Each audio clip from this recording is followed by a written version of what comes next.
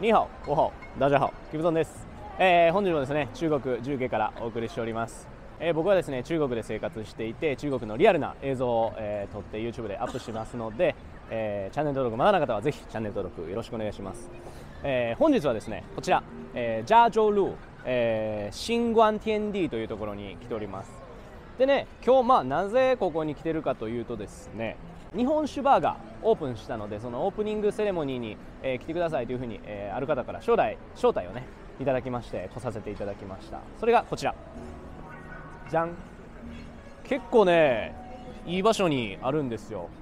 でこれ周り見ていただくとこれね、えーここ結構イベント会場みたいな感じで使われるんですけれどもこれ前がねすごいでっかいショッピングモールです。でここ並びにね、えー中国の EV 車、えー、理想理想でその奥にもね結構ね EV 車の、えーショールームとかがあったりとかして結構ね、えーおしゃれな感じの場所です。でそこにこのようにですね、えー日本酒バーが、えーできたということでね場所すごいいいところやね。すごいですね。ここ。で今日はねななんかね、えーオープニングセレモニーでなんかこうテープカットもあるみたいな、えーことを聞いたのでね、えーなんかこう参加させていただく機会をいただきました。ここね名前が、えー酒蔵津川。酒蔵津川ですね。という名前らしく。まあ。日本酒のバーね。まあ本当ね、えー日本酒の日本酒がねこう中国でどんどんこうメジャーになっていって、えー人気がね、えー出てくれると僕も嬉しいですしこういうところがねあると、まあ、文化の発信にね、えーすごいこう貢献、する場所じゃないかなと思います。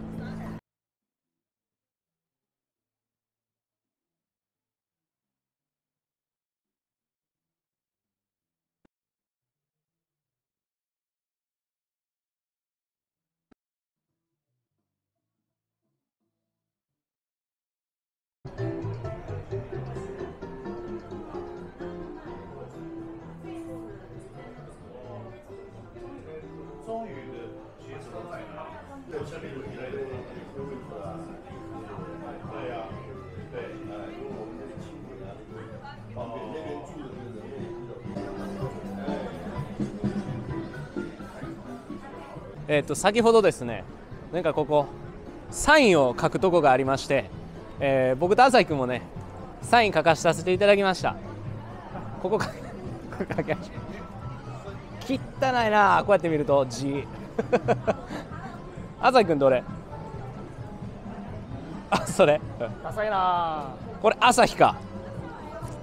ぁじゃあ、俺俺とかも落書き落書きみたいな感じ。じゃあ、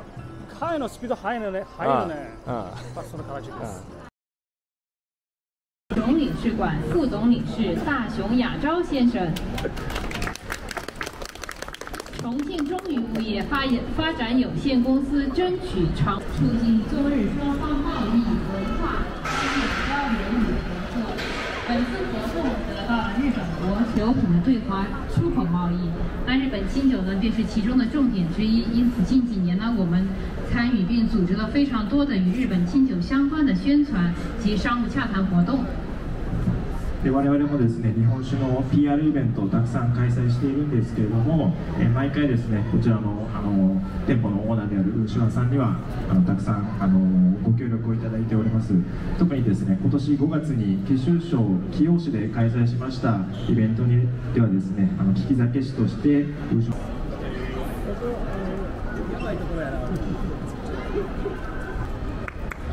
好的，感谢各位嘉宾，感谢感谢，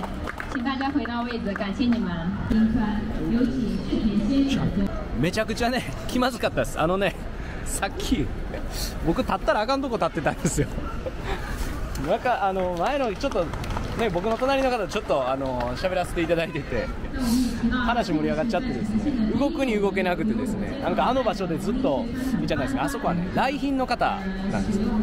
あそこお客さんなんですよ。僕はあそこ立ったらダメ。動くに動けなくて今ようやくねちょっと後ろにあの下がってこれました、はい。このようにですね、えーすごいこう日本もですね、えーしっかりこういう日本文化をこう発信していくお店とかですね、えー、をすごいこうサポートしてるっていう感じが、えー、見れたと思います。また日本食日本酒っていうのはねこう日本を代表するすごいこう素晴らしいえー、ものなので、えーまあ、日本政府もですねすごいこうバックアップしてるというような感じだと思います、まあ、僕もですね、えー、重慶にいてもうかれこれ、えまあ、中国にいてですね45年になりますが、えー、非常に中国の方日本食また日本の文化、えー、好きです。まあ、本当ですねこういうお店またこういうお店があることによって日中の、ね、こう文化交流がより盛んになってですねそれぞれの市民交流が、え、より盛んに、え、なってなっていくことを願っております、まあ、ここのオーナーさんもですねその日本の利き酒なんかそういう、え、免許というかですね資格も、え、持ってらっしゃるようで非常にこう日本の文化が、え、好きだと聞いております。またね今からその日本酒の利き酒の、えー、そういうイベントみたいなのもあるんで、えー、それもね参加していきたいと思います、えー、もし重慶いらっしゃる方がいればですねぜひこちら、えー、一度来てみてください、えー、それでは今日はこの辺にしたいと思います。チャンネル登録まだの方はですねぜひチャンネル登録の方よろしくお願いします。それでは再见。